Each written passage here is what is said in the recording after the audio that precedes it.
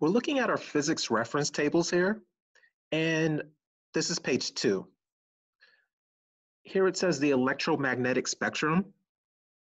And here list all the waves, all the different types of waves that do not require a medium. These are all the waves that can travel through a vacuum.